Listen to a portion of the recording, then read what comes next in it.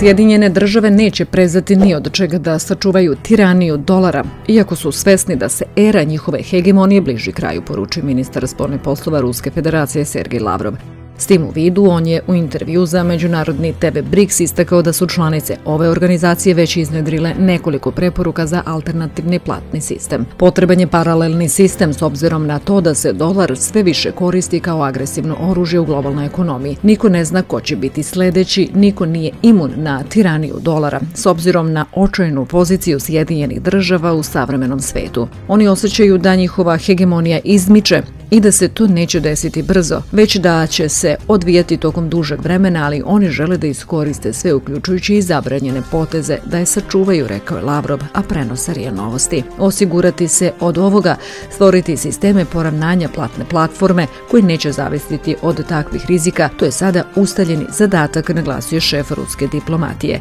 I istakao da će to biti jedan od prioriteta tokom predsjedavanja Brazila. Ministar je dodao i da je ruska strana uverena u nastavak rada na ruskim inicijativama u okviru organizacije BRICS.